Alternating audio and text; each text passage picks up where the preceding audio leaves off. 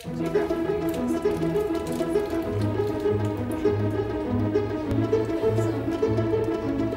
have been doing data science all over the university for a long time. All right, everybody.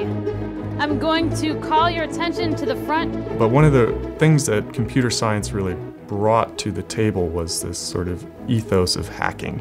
To talk with me a little bit about measuring legal bias in homicide diets. Finding data sets, actually diving into them, seeing what's there, and asking questions as you go along. We want to know things like their name, their gender, race, that's uh, why the data science hack nights made a lot of sense because we're really trying to grow people's skill sets, develop them, so that then they can go out and do solid science.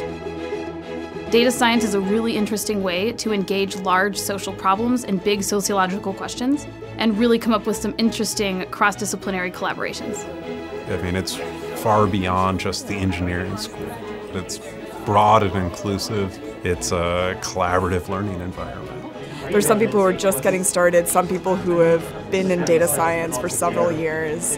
People who have less experience can come to learn, people who have more experience can come to understand a new aspect of data science. I mean, the pizza's what got me here, but you know, I've learned things I wasn't expecting to learn. It's a great way for people to develop their coding skills, for people thinking about maybe going on to graduate school.